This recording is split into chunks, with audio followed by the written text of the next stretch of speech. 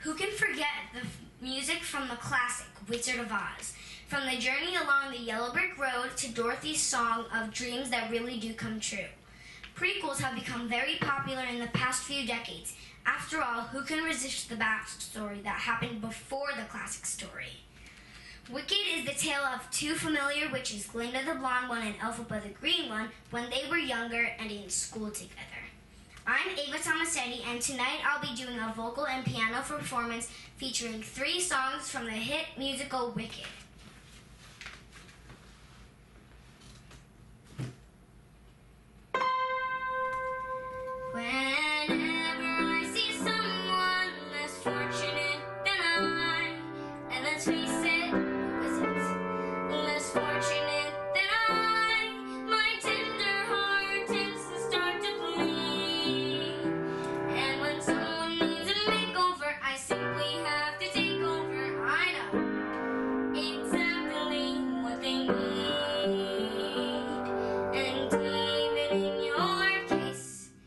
it's starts out.